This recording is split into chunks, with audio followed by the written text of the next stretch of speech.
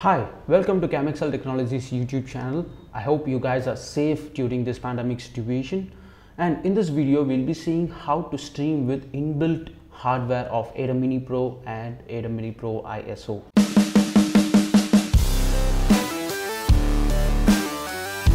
So both ATEM Mini Pro and ATEM Mini Pro ISO, the workflow is completely same. It has the same Ethernet, but for ATEM Mini, you don't have the inbuilt streaming hardware. But for Mini Pro and Mini Pro ISO, it's completely the same.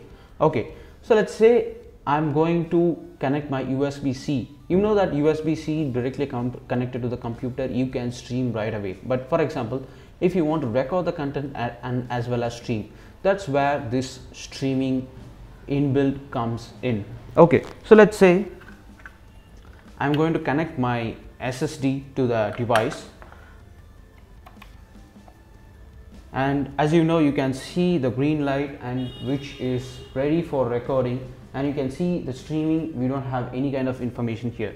So to that to do that we need to give internet connection to the ATEM Mini Pro ISO so right now I have a Mac in front of me and I will be going through that. And you can see that over here. I'll also be showing you the final screen.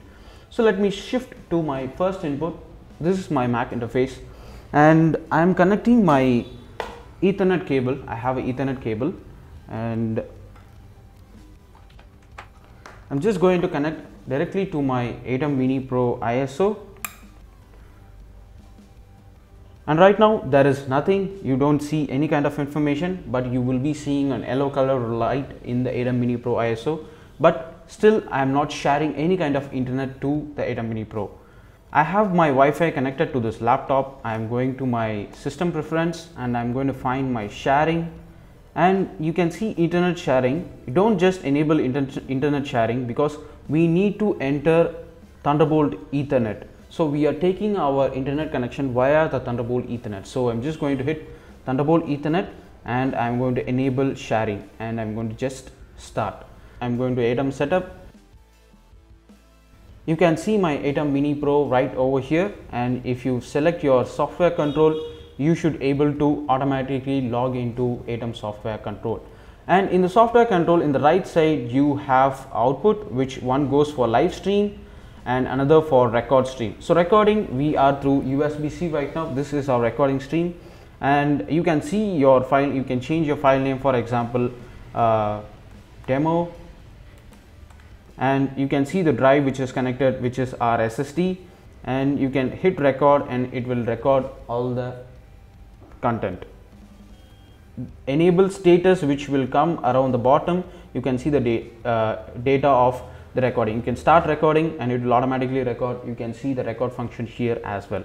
So I'll stop this as now and I'm going to go to my streaming. So as of now we have three things inbuilt which is Facebook, Twitch and YouTube. So let's say I'm going to stream through YouTube and my service is primary and we need to enter the key and I'm going to my Safari here. I'm going to just right click and go live and it should automatically take me to the live page. If it is connected through USB, it will automatically detect your Blackmagic design. Since we are using USB for recording, we are going through this method and I'm going to stream and some basic stuff. You can add this. You can name your stream title and stuff. And here you have your key. You have your stream key right here. You can just copy this and you need to paste it over here in the key area and you can select your streaming setup so which is streaming uh, medium which is 4.5 mbps streaming low 3.0 uh, mbps and you can also hit display status. You can see your what kind of information that you are sharing. So i can simply hit on air through this or you can simply hit on air over here and it is going to automatically go on air. And you can see my signal right in our YouTube page which is we are streaming right from our ATEM hardware. And you can switch between the sources and check your live stream. We are streaming through our ethernet connected and we are using our USB hard drive for recording and you can see we are on air and you can come here and hit record. You are recording the content as well as streaming the content. So that's quite simple and a powerful feature in ATEM Mini Pro and ISO where you can record and you can stream all at the same time and you can choose what kind of quality that you need to stream that's pretty great so you can stop it right from here you can just hit stop and off that's quite simple and easy and you can also use your software control panel to stop and start so that is all about streaming right in the hardware from ATEM Mini Pro and ATEM Mini Pro ISO. If you have any doubts, just put on the comments. I will try to reply as soon as possible. And thank you for watching.